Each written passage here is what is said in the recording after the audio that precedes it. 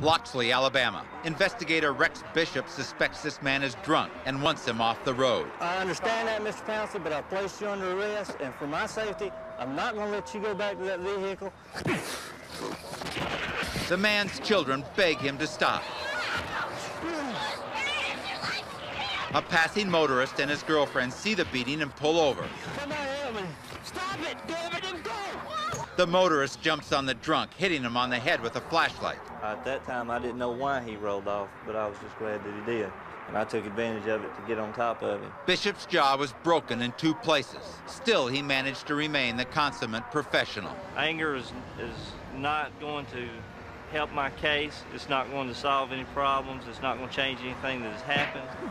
In that first incident where the officer got sucker punched, had he bladed, maintained a distance, and had his hands up, when that punch came in, he'd have flinched and jammed it. As I flinch, I move in on the guy. What this does is it gets him off balance. I can follow that up with a knee. I can hit the guy with a brachial stun. I can pull him into a knee. I can drop him to the ground and transition to a weapon. Dodging fists is one thing, but dodging bullets requires a whole other strategy.